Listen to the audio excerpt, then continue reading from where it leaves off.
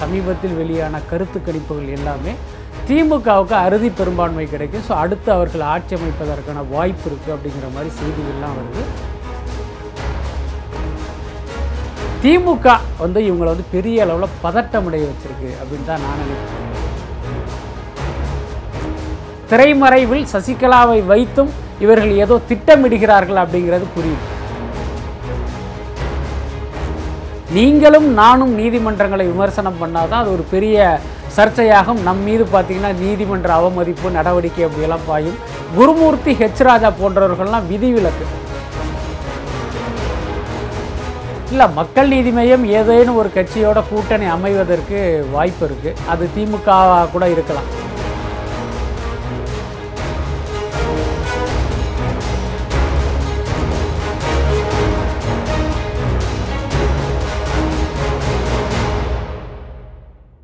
வணக்கம் சார் வணக்கம்.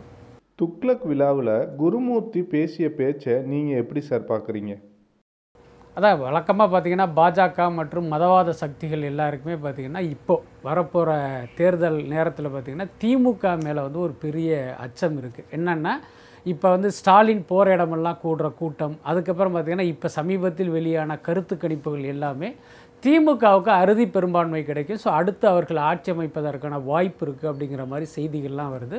ஸோ இந்த செய்திகளும் ஸ்டாலினுக்கு கூடுகிற கூட்டமும் இவர்களை வந்து பதட்டம் அடைய வச்சுருக்கு அப்படின்னு தான் நான் நினைக்கிறேன். அதுதான் பல சந்தர்ப்பங்களில் இவங்களுக்கு வந்து வெவ்வேறு வார்த்தைகளில் வெளிப்பட்டுக்கிட்டு இருக்குது உங்களுக்கு தெரியும் திமுகவை ஆட்சிக்கு வரவிடக்கூடாது அப்படிங்கிறதுக்கான முயற்சியாக தான் குருமூர்த்தி போன்றவர்கள் ரஜினிகாந்தை வந்து உசுப்பேத்தி அவர் எப்படியாவது அரசியலுக்கு இறக்கணும் அப்படின்னு ரொம்ப முயற்சி பண்ணாங்க. ஏறக்குறைய அதற்கு உடன்பட்டு தான் ரஜினியும் அரசியலுக்கு வருவதாக இருந்தார்.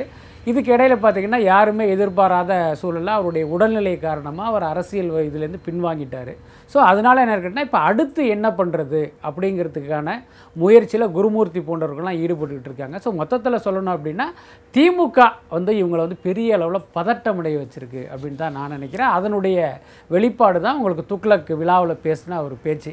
நீங்கள் அந்த பேச்சை கவனிச்சிங்கன்னா தெரியும். இப்போ சசிகலா விரைவில் வெளியில் வர போகிறாங்க அவங்க நிச்சயமாக வரப்போகிற சட்டமன்ற தேர்தலில் ஒரு முக்கியமான ரோல் வந்து அவங்களுக்கு நிச்சயமாக இருக்குது ஸோ இவருடைய பேச்சு என்ன தெரியுது அப்படின்னா சசிகலாவுடைய ஆதரவையும் நம்ம வாங்கிக்கிட்டு திமுகவை எதிர்க்கணும் அப்படிங்கிற மாதிரி அவர் பேசுகிறாரு ஸோ அப்படி பேசும்போது ஒரு எதிர்கேள்வி வரும் இல்லையா? ஒரு ஊழல் குற்றச்சாட்டில் சிறைக்கு சென்ற சசிகலாவை வந்து நீங்கள் வந்து வச்சுக்கிட்டு வரலாமா? அப்படின்னு நிச்சயமாக ஒரு கேள்வி வரும்.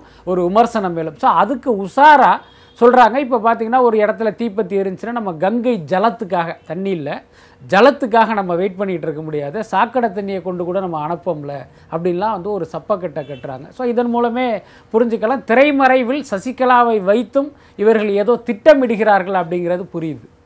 தொடர்ந்து குருமூர்த்தி அதிமுகவை ரொம்ப மோசமாக விமர்சிக்கிறார். சசிகலாவை சாக்கடை அப்படின்னு சொல்லியிருக்காரு. இதற்கு தகுந்த பதிலடி தரப்பட்டிருக்கு அப்படின்னு நீங்கள் நினைக்கிறீங்களா சார்? நிச்சயமாக வரலை அப்படின்னு தான் நான் நினைக்கிறேன். என்ன கேட்டிங்கன்னா இப்போ வந்து ஊழல் கட்சி அப்படின்னு குருமூர்த்தி வந்து தொடர்ந்து சொல்லிகிட்டு இருக்காரு. அதுக்கு வந்து பார்த்திங்கன்னா ஒரு பெரிய எதிர்ப்பு இல்லை. என்ன காரணம் அப்படின்னா குருமூர்த்தி வந்து சும்மா சாதாரண ஒரு ஒரு என்ன சொல்கிறது ஒரு அரசியல் கட்சியில் இருக்கிற ஒரு தொண்டனுடைய கருத்து மாதிரி அதெல்லாம் கிடையாது. குருமூர்த்தி சொல்கிறாருன்னா அதில் நிச்சயமாக ஏதோ ஒரு காரணம் இருக்கும். அல்லது ஏதோ சில உண்மைகள் அவருக்கு தெரிஞ்சிருக்கும். அப்படிங்கிறதுனால என்னமோ தெரில அதிமுக அமைச்சர்கள்லாம் அமைதியாக இருக்காங்க. அடடா நம்ம செஞ்சது இவருக்கு தெரிஞ்சிருச்சா? அப்படிங்கிற பயம் கூட அவர்களுடைய அமைதிக்கு காரணமாக இருக்கலாம். அதுக்கடுத்து பார்த்தீங்கன்னா இன்றைக்கி சசிகலாவை இவர் சாக்கடை அப்படின்றாரு. அதற்கும் பார்த்தீங்கன்னா போதிய எதிர்வினை வரலை அப்படின்னு தான் நான் நினைக்கிறேன். நிச்சயமாக பார்த்தீங்கன்னா அதிமுக தொண்டர்கள் வந்து எதிர்வினை ஆற்ற மாட்டாங்க அப்படிங்கிறது தான் உண்மை. என்ன காரணம் அப்படின்னா இப்போ சசிகலாவை தனியாக பிரிச்சடித்து தான் இன்றைக்கி வந்து அதிமுக இயங்கிக்கிட்டு இருக்கு. ஆனால் குறைந்தபட்சம் அமமுகவிடமிருந்து கூட ஒரு பெரிய எதிர்வினை வரலை அப்படிங்கிறது தான் ஆச்சரியமாக இருக்குது சூர்யா நீதித்துறையை அவமதிச்சிட்டாரு அப்படின்னு பெரிய கண்டனங்கள்லாம் வந்துச்சு. ஆனால் குருமூர்த்தி பேசினா ஒரு அமைதி தெரியுது. இது எப்படி புரிஞ்சுக்கிறது? இல்லை இதில் வந்து நமக்கு ஒரு பெரிய அதிர்ச்சியெல்லாம் கிடையாது. என்னென்னா இப்போ குருமூர்த்தி இன்றைக்கி நீதிமன்றங்களை பற்றி பேசுனது பார்த்திங்கன்னா ஏற்கனவே ஹெச் ராஜா பேசியிருக்காருல ஹைகோர்ட்டாவது டேஷ் ஆகுதுன்னா அவர் வந்து பேசியிருக்காரு. அதுக்கே வந்து ஒரு பெரிய எதிர்வினையெல்லாம் இல்லை. அதுக்கப்புறம் உங்களுக்கு தெரியும் எஸ்வி சேகர் அவருக்கு வந்து இதே மாதிரி நீதிமன்ற வழக்கெல்லாம் வரும்போது என்ன ஆச்சு அப்படிங்கிறதெல்லாம் நம்ம பார்த்துக்கிட்டு தான் இருந்தோம். அதனால் பார்த்திங்கன்னா நீங்களும் நானும் நீதிமன்றங்களை விமர்சனம் பண்ணால் தான் அது ஒரு பெரிய சர்ச்சையாகும். நம் மீது பார்த்திங்கன்னா நீதிமன்ற அவமதிப்பு நடவடிக்கை அப்படியெல்லாம் பாயும். குருமூர்த்தி ஹெச் ராஜா போன்றவர்கள்லாம் விதிவிலக்கு கோர்ட்டை பொறுத்த வரைக்கும். அப்படி தான் நான் நினைக்கிறேன். நெருப்பு அணைக்கிறதுக்கு கங்கை ஜலத்துக்காண்டி காத்துக்கிட்டு இருக்க முடியாது.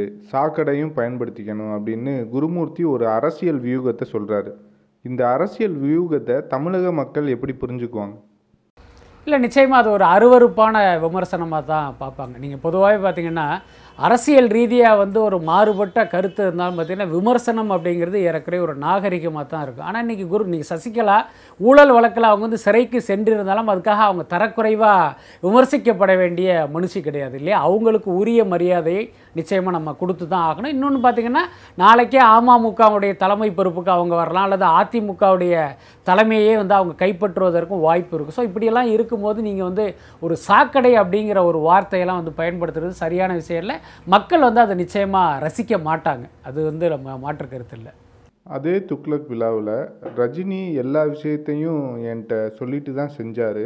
அரசியல்லிருந்து விலகிட்டாரு அப்படின்றதுக்காண்டி அது முடிந்த முடிவு இல்லை அப்படின்ற மாதிரி சொல்கிறாரு இல்லை அந்த கருத்தில் வந்து நான் உடன்படுறேன். ரஜினி பார்த்தீங்கன்னா கல அரசியலிலிருந்து தான் பின்வாங்கியிருக்காரு. அவருடைய கருத்தியல் ரீதியான அரசியல் இருந்து ரஜினிகாந்த் வந்து நிச்சயமாக பின்வாங்க மாட்டார் அப்படின்னு தான் நான் நினைக்கிறேன். ஏறக்குறைய குருமூர்த்தியும் அதை தான் சொல்கிறாரு அது மட்டும் இல்லை ரஜினிகாந்தால் அவருடைய கட்சிக்கு தலைமை ஒருங்கிணைப்பாளராக நியமிக்கப்பட்டிருந்த அர்ஜுனமூர்த்தியும் ஏறக்குறைய இதே கருத்தை தான் சொன்னார்.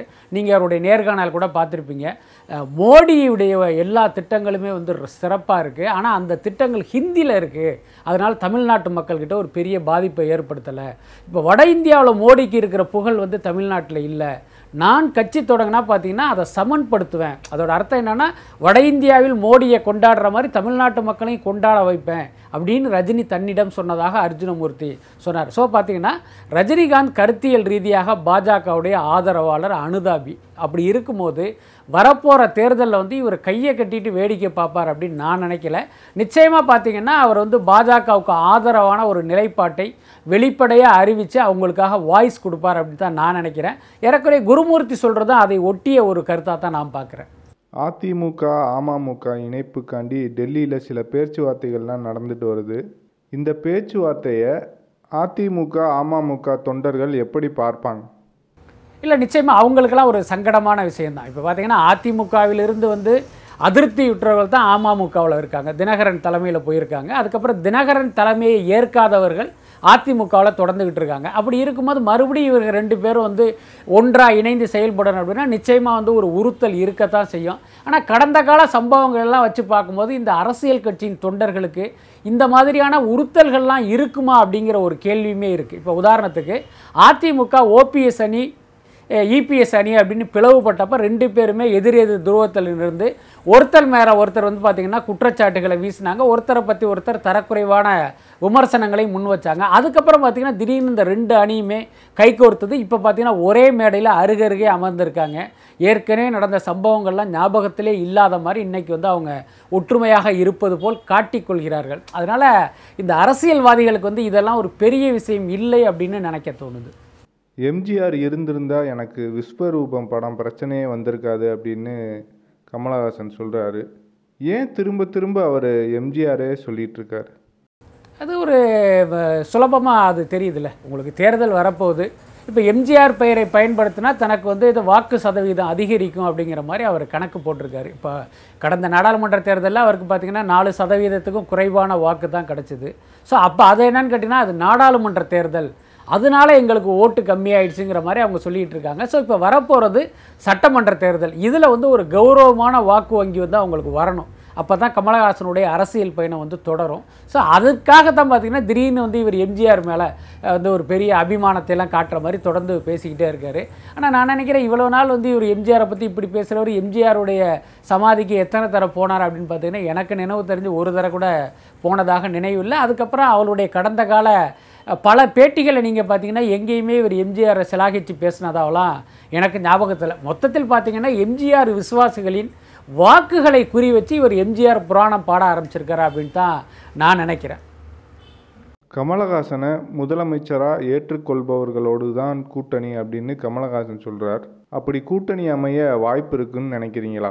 இல்லை மக்கள் நீதி மையம் ஏதேனும் ஒரு கட்சியோட கூட்டணி அமைவதற்கு வாய்ப்பு இருக்குது அது திமுக கூட இருக்கலாம். ஏன்னா அரசியலில் வந்து என்ன நடக்கும் எப்போ என்ன நடக்கும்னா நிச்சயமாக நம்மளால் கணிக்க முடியாது. அது இல்லாமல் திமுக கூட்டணியில் மக்கள் நீதி மையம் இணைய போது அதற்கான பேரங்கள்லாம் பேசி முடிச்சிட்டாங்க அப்படிங்கிற மாதிரியான தகவல்களும் வந்துக்கிட்டு இருக்கு. அதை நம்ம வந்து வதந்தி அப்படின்லாம் அலட்சியப்படுத்திட முடியாது. ஏன்னா தேர்தலுக்கு இன்னும் சில மாதங்கள் இருக்குது நிறைய காட்சிகள் மாறும். ஸோ அது நடப்பதற்கு வாய்ப்பு இருக்குது ஸோ அப்படி நடந்துச்சுன்னா கமலஹாசன் வந்து முதலமைச்சர் வேட்பாளராக அந்த திமுக கூட்டணி வந்து ஏற்காது. ஏன்னா ஏற்கனவே திமுக கூட்டணியின் முதல்வர் வேட்பாளராக ஸ்டாலின் தான் இருக்கார். அதுக்கப்புறம் ஒருவேளை திமுக கூட்டணியில் வந்து மக்கள் நீதி மையம் போகாமல் ஒரு மூன்றாவது அணி அப்படின்னு அமைஞ்சால் அந்த கட்சியோட பார்த்தீங்கன்னா ஒரு சின்ன சின்ன கட்சிகள் கூட்டணி போடுவதற்கு வாய்ப்பு இருக்குது அப்போ வேணால் கமலஹாசன் முதல்வர் வேட்பாளராக நிற்பதற்கு வாய்ப்பு இருக்குது அதனால் எதையுமே நம்ம வந்து அலட்சியப்படுத்தவும் முடியாது.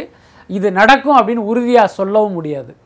கமலை விட கடந்த தேர்தலில் சீமான் அதிக வாக்கு சதவீதம் வச்சுருக்கார்.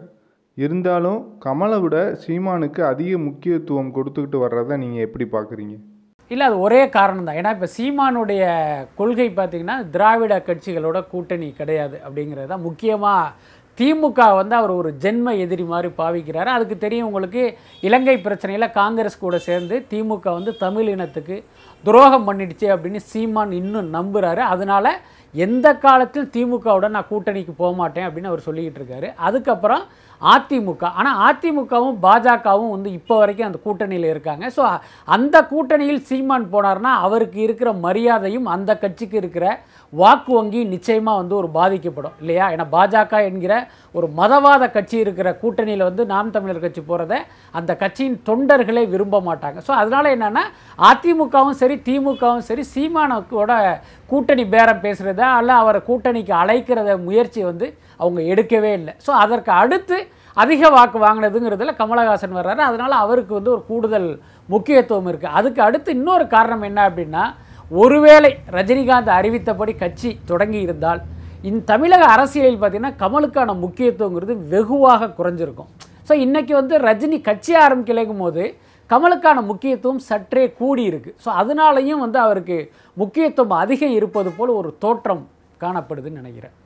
சீமான் கமலஹாசன் வருகின்ற சட்டமன்ற தேர்தலில் யாருக்கு அதிக வாய்ப்பு இருக்கிறதா நீங்கள் நினைக்கிறீங்க? இல்லை நம்ம அந்த மாதிரியான ஆரூடங்களை வந்து நிச்சயமாக சொல்ல முடியாது. ஆனால் கமலஹாசன் இப்போ போகிற இடமெல்லாம் பார்த்திங்கன்னா முன்னை விட ஒரு பயங்கரமான கூட்டத்தை நம்மளால் பார்க்க முடியுது. பல ஊர்களில் வந்து ஒரு பெரிய ரெஸ்பான்ஸ் அவர் இருக்குங்கிறது நம்மளால் புரிஞ்சுக்க முடியுது. ஆனால் இதெல்லாம் வந்து ஓட்டாக மாறுமா அப்படிங்கிற ஒரு சந்தேகம் இருக்குது ஏன்னா கடந்த காலங்களில் சினிமா நட்சத்திரங்களை பார்க்க கூடின கூட்டம் வந்து அது வந்து ஓட்டாக மாறலை. இப்போ உதாரணத்துக்கு திமுகவுக்கு ஆதரவாக வடிவேல் போனார். அப்போ பார்த்தீங்கன்னா ஒவ்வொரு ஊர்லேயுமே அத்தனை மக்கள் திரண்டாங்க. ஆனால் அதெல்லாம் பார்த்தீங்கன்னா அவங்களுக்கு வெற்றி வாய்ப்பை கொடுக்கல. அதனால் இன்றைக்கு கமலஹாசனுக்கு கூடுகிற கூட்டத்தை வச்சு இதெல்லாம் ஓட்டாக மாறும் அப்படின்னு நம்மளால் சொல்ல முடியல.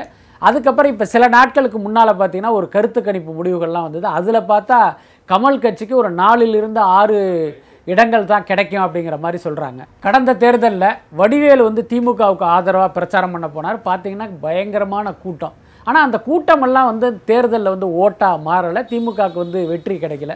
அதனால் இன்றைக்கு கமலஹாசனுக்கு கூடுகிற கூட்டத்தை வச்சு அவருக்கு வந்து அது வந்து ஓட்டாக மாறும் அப்படிலாம் நிச்சயமாக நம்மளால் சொல்ல முடியாது. அதுக்கப்புறம் சமீபத்தில் கூட வந்து சில கருத்து கணிப்புகள்லாம் வந்தது.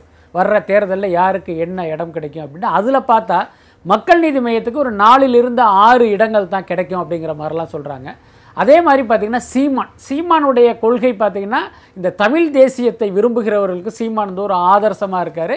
அவர் பின்னால் இந்த கொள்கையை விரும்புகிற மக்கள் வந்து பின்னால் போயிட்டுருக்காங்கிறத மறுக்க முடியாது. அது இல்லாமல் கடந்த தேர்தலோடு ஒப்பிடும்போது இப்போ சீமானுக்கான ஆதரவுங்கிறது பல மடங்கு அதிகரிச்சிருக்கு. அதில் எந்த மாற்றமே இல்லை. ஆனால் அதெல்லாம் வந்து அவருக்கு ஒரு மிகப்பெரிய வெற்றியை கொடுத்து சட்டமன்றத்துக்குள் காலடி எடுத்து வைக்கிறதற்கான சூழலை உருவாக்குமா அப்படிங்கிறத இன்றைய சூழலில் வந்து நம்மளால் உறுதியாக சொல்ல முடியாதுன்னு நினைக்கிறேன். ஜல்லிக்கட்டை பார்ப்பதற்காண்டி ராகுல் காந்தி வராரு. இங்கே நட்டா வந்துட்டு பாஜக பொங்கல் அப்படின்னு விழா எடுக்கிறாங்க. இதெல்லாம் மக்கள் எப்படி பார்ப்பாங்க சார்? இல்லை மக்கள் இதெல்லாம் ஒரு நகைச்சுவையாக தான் பார்ப்பாங்க அப்படின்னு நான் நினைக்கிறேன். இப்போ மோடி வந்து தமிழில் ட்வீட் போடுறது அப்புறம் இங்கே வந்தால் வன்கம் அப்படின்லாம் பேசுகிறது இதெல்லாம் பார்த்திங்கன்னா ஒரு நகைச்சுவை தான். நிச்சயமாக தெரியும் வட இந்தியர்களுக்கு ராகுல் காந்தி நோ மோடி உட்பட எல்லாருக்குமே தென்னிந்திய மக்கள் மீது பார்த்திங்கன்னா ஒரு இலக்காரமான பார்வை இருக்குது அதுக்காக தென்னிந்திய மாநிலங்களுக்கு இவங்க வந்து நிதி ஒதுக்குறதுலேருந்து நம்ம புரிஞ்சுக்கலாம். பார்த்தீங்கன்னா ஊபிக்கு ஒதுக்குற நிதிக்கும் தமிழ்நாட்டுக்கு ஒதுக்குற நிதிக்கும் உள்ள வித்தியாசத்தை வச்சு நம்ம நிச்சயமாக புரிஞ்சுக்கலாம். அதே நேரம் தேர்தல் வரும்போது இவங்களுக்கு பார்த்தீங்கன்னா திடீர்னு ஒரு தமிழ் மக்கள் மீது கரிசனம் வந்து இவர்கள் ஒரு கட்டத்தில் ஜல்லிக்கட்டுக்கு தடை விதிப்பதற்கான பேச்செல்லாம் பேசுவாங்க இன்னொரு பக்கம் வந்து ஜல்லிக்கட்டை வேடிக்கை பார்க்க வருவாங்க. ஸோ இதெல்லாம் வந்து ஒரு அரசியல் தானே தவிர மற்றபடி ஒரு உள்ளன்போடு வந்ததாக நம்மளால் எடுத்துக்கவே முடியாது. ரஜினி மக்கள் மன்ற நிர்வாகிகள் விருப்பப்பட்டால் எந்த கட்சியிலும் சேர்ந்து கொள்ளலாம் அப்படின்னு ஒரு அறிக்கை வந்திருக்கு. இதை நீங்கள் எப்படி பார்க்குறீங்க அதுக்கு வந்து ரெண்டு காரணம் இருக்கிறதா நான் பார்க்குறேன். என்ன அப்படின்னா உங்களுக்கு தெரியும் ரஜினி ரசிகர் மன்ற நிர்வாகிகள் திமுகவில் வந்து சேர ஆரம்பிச்சிட்டாங்க தொடர்ந்து. அது வந்து ரஜினியை வந்து பதட்டம் அடைய வச்சிருச்சு அப்படின்னு தான் நான் நினைக்கிறேன். என்னென்னா தொடர்ந்து திமுகவுக்கு போயிட்டோம்னா ஒருவேளை ரஜினி ரசிகர்கள் வந்து திமுகவுக்கு வந்து ஆதரவாக ஓட்டு போடணும் அப்படிங்கிற ஒரு கருத்து உருவாகிடுமோ அப்படிங்கிற பதட்டத்தில் அவசர அவசரமாக இப்படி ஒரு அறிக்கை கொடுக்கப்பட்டதாக தான் நான் நினைக்கிறேன். என்னுடைய கணிப்பு என்னென்னா ஒருவேளை இவர்களெல்லாம் பாஜகவில் போய் சேர்ந்திருந்தா ரஜினிகிட்டேருந்து இப்படி ஒரு அறிக்கை வந்திருக்குமா அப்படின்னா நிச்சயமாக வந்திருக்காது அப்படின்னு தான் நான் நினைக்கிறேன். அதுக்கப்புறம் பார்த்திங்கன்னா இந்த மாதிரி தொடர்ந்து போய் வந்து ஒவ்வொரு கட்சியில் சேர்ந்துக்கிட்டே இருந்தாங்க அப்படின்னா ஸோ இப்போ ரஜினி வந்து அவ்வளவுதான். அவருடைய பேச்சுக்கு வந்து மரியாதை இல்லை. அப்படிங்கிற மாதிரியான ஒரு விமர்சனத்துக்கு வழிவகுத்துடும். ஸோ அதனால தான் முந்திக்கிட்டு நீங்கள் எங்கே வேணாலும் யார் வேணாலும் போய் சேருங்க அப்படிங்கிற மாதிரியான ஒரு அறிக்கையை கொடுத்துருக்காங்கன்னு தான் நான் நினைக்கிறேன். ரஜினி மக்கள் மன்ற நிர்வாகிகளை திமுகவில் சேர்த்து கொண்டதற்கு மாரிதாஸ் கண்டனம் தெரிவிச்சிருக்கார். இந்த கண்டனம் சரியா? இல்லை நாம் வந்து அவரை பற்றியெல்லாம் பேசுவது நம்மளுடைய தகுதிக்கு குறைவான விஷயம் அப்படின்னு நினைக்கிறேன். முதலமைச்சரை முன்னிறுத்தி நிறைய விளம்பரங்கள் வந்துக்கிட்டே இருக்கு. இந்த விளம்பரங்கள் ஏதேனும் தாக்கத்தை ஏற்படுத்தியிருக்கதா நினைக்கிறீங்களா? இல்லை அதெல்லாம் நிச்சயமாக ஏற்படுத்தாது. அது எல்லா காலத்துலேயுமே பார்த்தீங்கன்னா ஆளுங்கட்சி வந்து தேர்தல் நேரத்தில் அவங்களுடைய சாதனைகளை முழுப்பக்க விளம்பரமாக கொடுப்பாங்க. அது என்னன்னு கேட்டால் அரசு பணத்தை இவர்கள் விரயம் பண்ணுகிறார்கள். அது வந்து மறுக்கவே முடியாது. அது வந்து மக்கள்கிட்ட ஒரு பெரிய தாக்கத்தை ஏற்படுத்தும் அப்படிலாம் நான் நினைக்கல. எங்களுடன் நேரம் ஒதுக்கி பேட்டியளித்தமைக்கு மிக்க நன்றி சார். நன்றி. மகிழ்ச்சி.